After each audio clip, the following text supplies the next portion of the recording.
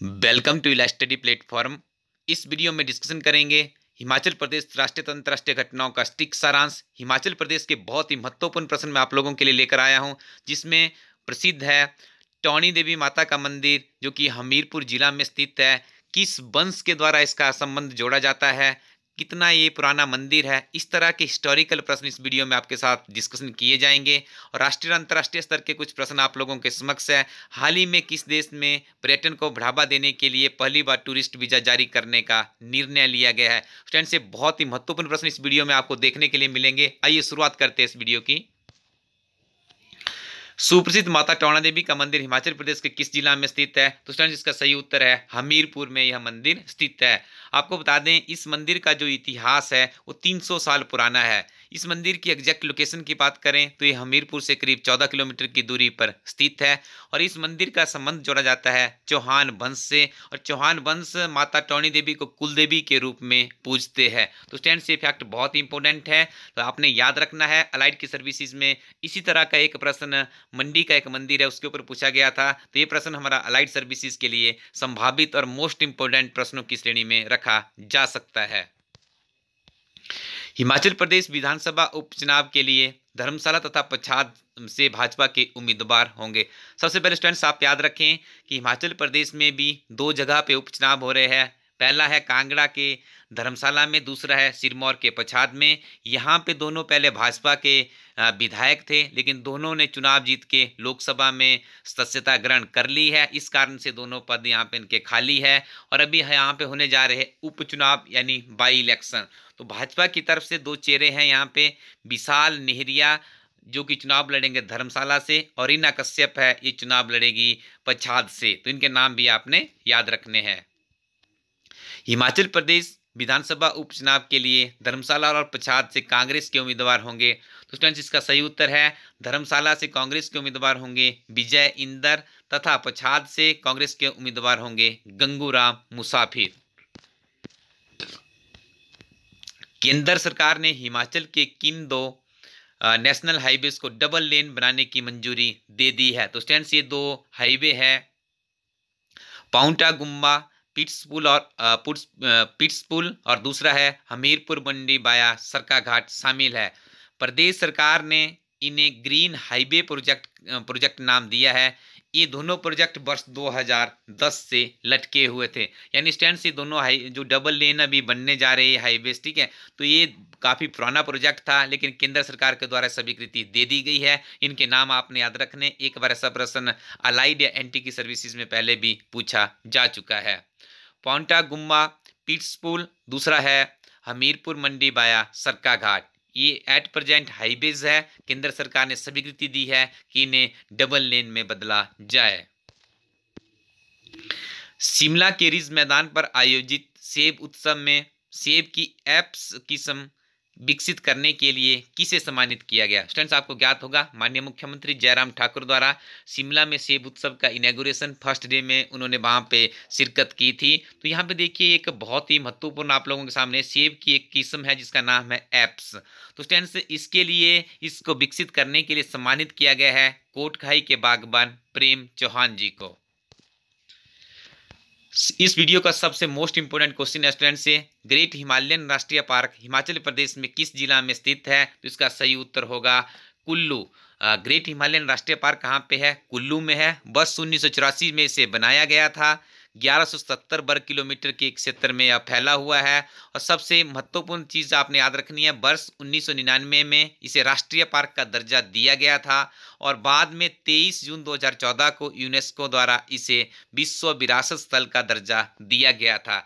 Clerk से लेकर HS तक की परीक्षा में यदि आप बैठेंगे तो इसी में से जो इफ़ेक्ट मैंने आपको बताया, छोटी परीक्षा में पूछ लिया जाता है ग्रेट हिमालयन राष्ट्रीय पार्क का है, आप सीधा उत्तर करेंगे कुल्लू में। इस पार्क की स्थापना कब की गई थी? सीधा सा प्रश्न उत्तर होगा। उन्नीस सौ चौरासी में, ठीक है? इसका क्षेत्रफल कितना है? ग्यारह इकहत्तर किलो, वर्ग किलोमीटर से। एच एस में स्टूडेंट से प्रश्न पूछा गया था कि हिमाचल प्रदेश के किस पार्क का जो क्षेत्रफल है, वो ग्यारह सौ वर्ग किलोमीटर है। पिछले साल की बात कर रहे हैं, ठीक है? और उसके बाद देखिए स्टूडेंट इसको कब राष्ट्रीय पार्क का दर्जा दिया गया था तो उसका सही उत्तर है 1999 और यदि बात करें यूनेस्को के द्वारा इसे विश्व विरासत स्थल का घोषित किया गया था, उसका सही उत्तर है तेईस जून दो हज़ार चौदह। ये सारे फैक्ट्स यदि आप याद कर लेंगे तो एक प्रश्न आपका कहीं भी नहीं जाता है। स्टूडेंट्स आप किसी परीक्षा की तैयारी कर रहे हैं तो हम आपको सुजेस्ट करते हैं कि आप जनवरी 2019 से लेकर सितंबर 2019 तक के करंट अफेयर्स ज़रूर पढ़ें और ऐसे करंट अफेयर्स आपको पढ़ने हैं जो अनुभवी अध्यापकों द्वारा बनाए गए हो और आपको ये की पीडीएफ में या ये की किताब में आपको हिमाचल प्रदेश, राष्ट्रीय तथा अंतर्राष्ट्रीय करंट अफेयर्स कंसाइज नोट्स की फॉर्म में मिल जाए तो मुझे लग रहा है सोने पे सुहागा हो जाएगा।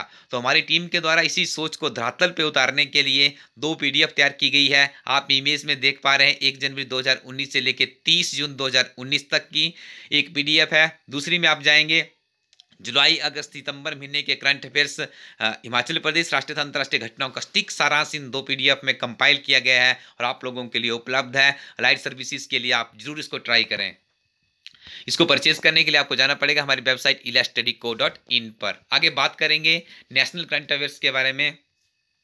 हाल ही में केंद्र सरकार द्वारा किसे वायुसेना प्रमुख बनाने का फैसला लिया है तो इनका नाम है राकेश कुमार सिंह भदौरिया। आपने याद रखना है, राकेश कुमार सिंह भदौरिया को केंद्र सरकार द्वारा हाल ही में अगला वायुसेना प्रमुख बनाने का फैसला लिया गया है।